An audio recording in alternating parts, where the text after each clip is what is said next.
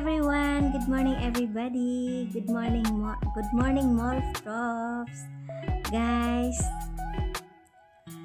for today's video is magluluto po tayo ng ating uulamin at pasensya na kayo guys kasi dito nagluluto ako pero yung yung alam ko lang talaga hindi uh, hindi ako inuutusan na yung bang ganito ganyan basta kung ano yung naluto ko yun na yun kakainin na nila yun so ngayon ngayong araw magluluto po ako ng ano yung hipon kasi bumili yung amo ko kahapon, so nilagay ko doon sa ref.